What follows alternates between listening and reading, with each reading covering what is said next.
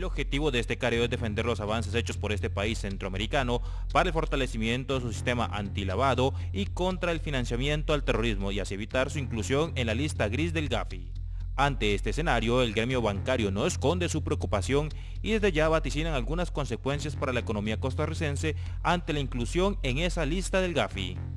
Los efectos que tendría el que Costa Rica entre en, la lista gris, primero, el país sufriría un efecto terrible en cuanto a su reputación. O sea, estaría a la par de países que tradicionalmente han sido eh, catalogados como países que alojan el, terrorismo y que alojan la delincuencia eh, organizada. En segundo lugar,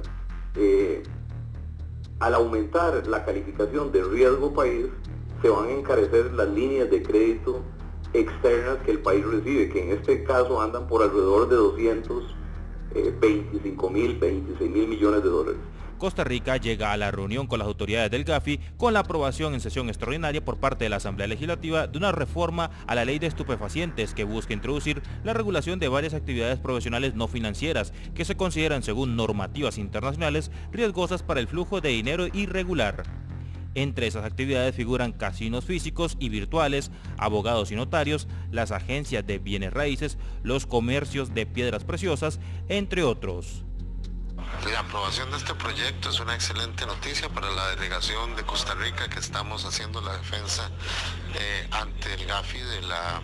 situación de Costa Rica en cuanto a la eh, lucha contra el financiamiento del terrorismo y el lavado de dinero.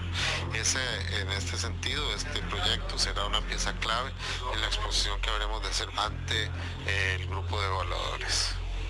A pesar de este avance, Costa Rica tiene pendientes la aprobación de varios proyectos ante las autoridades del Grupo de Apoyo Financiero Internacional para no entrar en este listado del GAFI, un ente intergubernamental establecido en 1989 por los ministros y jurisdicciones que forman parte del Grupo G8 o las ocho economías más importantes del mundo. En la actualidad, en la lista gris del GAFI figuran países como Afganistán, Bosnia-Herzegovina, Corea del Norte, Etiopía, Irán, Irak, Laos, Siria, Uganda, Yemen y Vanuatu.